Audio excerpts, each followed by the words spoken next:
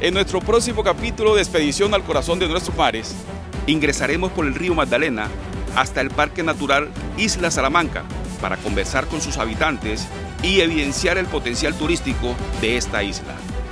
Expedición al corazón de nuestros mares. Sábados 1 y 30 de la tarde.